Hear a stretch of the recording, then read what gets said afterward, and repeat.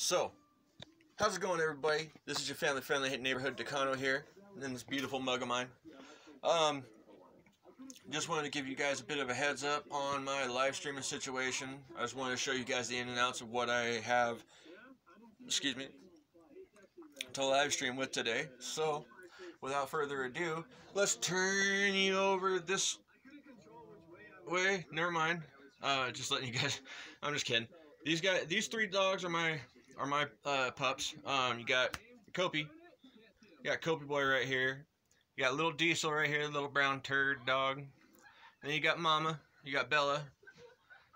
I have a fourth. I have a fourth dog, but he's he's in the hallway sleeping somewhere.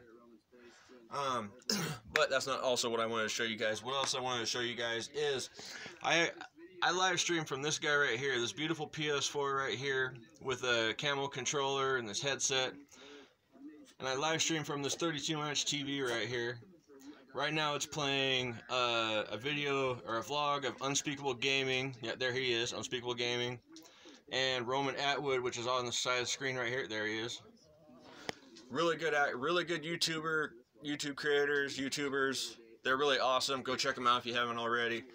Plus, now if we pan over here to my Dell Inspiron laptop, this is basically what I use to check my emails, um, do some thumbnails and stuff like that. And then plus you got my juice over here, a little lovely cranberry pomegranate juice, my Scentsy thing, whatever.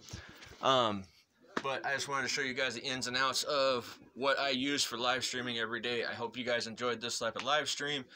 If you did, make sure you hit that like button. If you're new, hit that subscribe button and also leave me a comment on what you guys want to see me do next time. But until then, peace and have a good rest of your night or day